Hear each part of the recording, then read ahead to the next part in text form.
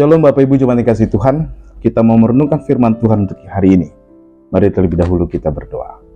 Damai sejahtera Allah yang melampaui segala akal itulah kiranya menyertai hati dan pikiran saudara-saudara di dalam Kristus Yesus Tuhan kita. Amin. Firman Tuhan bagi kita di hari ini tertulis dalam Yeskiel pasal 45 ayat yang ke-9. Saya bacakan menurut terjemahan baru 2. Beginilah firman Tuhan Allah Cukuplah itu, hai raja-raja Israel. Jauhkanlah kekerasan dan penindasan, tetapi lakukanlah keadilan dan kebenaran. Berhentilah merampas tanah milik umatku. Demikianlah firman Tuhan Allah. Dalam bahasa Batak Toba dikatakan demikian. Songono doha tani Tuhan Jehovah. Tungna torbang dohamu ali aka induk ni Israel paholak kamuma pangarupa do tamagoan jala ulahon hamuma uhum do tatigoran. Pasohot tamuma panosak muna mangojar-ojar bangsok kusian partalianna. Ninna Tuhan Jehovah Bapak Ibu Jemaat yang kasih Tuhan Menurut Anda, adakah hubungan antara kuasa dan tanggung jawab? Kalau saya memiliki kuasa, apakah saya memiliki tanggung jawab?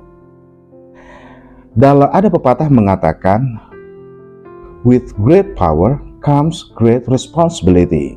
Yang bisa kita terjemahkan bersama dengan adanya kuasa yang besar selalu mengikut juga tanggung jawab yang besar. Kuasa dan tanggung jawab itu erat hubungannya sama seperti mata uang atau koin yang tidak terpisahkan antara sisi satu dengan yang lain. Karena jika terpisah, tentu akan kehilangan nilai. Kuasa tang tanpa tanggung jawab akan menjadikan orang yang diberi kuasa menjadikan seperti manusia yang lupa daratan atau menganggap dirinya sebagai orang atau dewa yang patut dipuja-puji, dituruti dan dilayani. Kuasa tanpa tanggung jawab akan membusukkan segala sesuatu. Ada pernah suatu ketika saya kenal orang ini baik sekali, hidupnya lurus-lurus aja. Tapi suatu ketika dia berubah. Seperti dia menjadi orang yang dengan gangguan jiwa, dengan depresinya. Bahkan beberapa kali mencoba untuk mengakhiri diri. Ternyata dia menjadi korban dari abuse of power atau penyalahgunaan kuasa. Seluruh harta dan kehormatannya dirusak oleh penguasa dengan persepakatan yang merugikan dia. Orang itu mencoba menuntut haknya, menuntut keadilan, semua jalur prosedur ditempuh, tetapi menjadi sia-sia karena para penguasa telah menerima suap untuk kasusnya. Akhirnya orang itu berakhir dengan tragis. Bapak Ibu sering kasih Tuhan, lihatlah, kuasa yang tanpa disertai rasa tanggung jawab dapat merusak hidup orang banyak. Tentunya kita mengharapkan hidup kita ini penuh damai, penuh dengan kasih, ketenangan, sukacita, bukan? Atau mungkin kita juga berdoa berharap semua kehidupan ini berlangsung baik, adil, damai, dan juga kita tahu bahwa tidak akan ada damai kalau tak ada keadilan, bukan? Kita semua mengharapkan kehidupan ini lestari. Semua eksistensi, semua keberadaan saya dengan apa dan bagaimana saya dihargai oleh semua orang. Kita mengharapkan itu.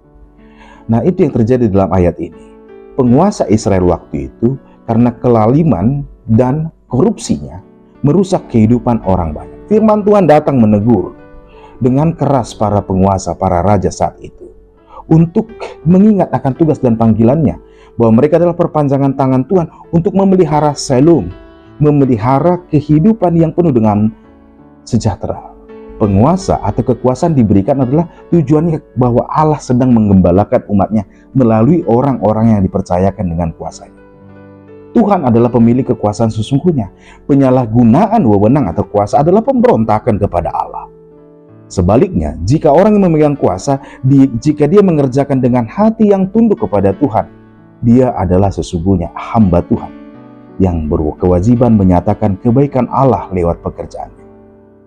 Terima kasih Tuhan di masa-masa Advent ini adalah kesempatan bagi kita untuk merenungkan kembali betapa kita membutuhkan kehadiran Allah dalam seluruh aspek kehidupan kita.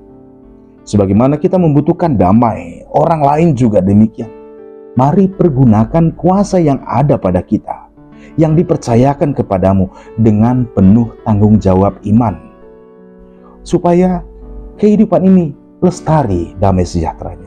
Sebagai ayah, sebagai ibu, sebagai pribadi, sebagai pejabat, sebagai petugas, kuasa apa pun itu, mari kerjakan dengan penuh dedikasi dan tanggung jawab iman.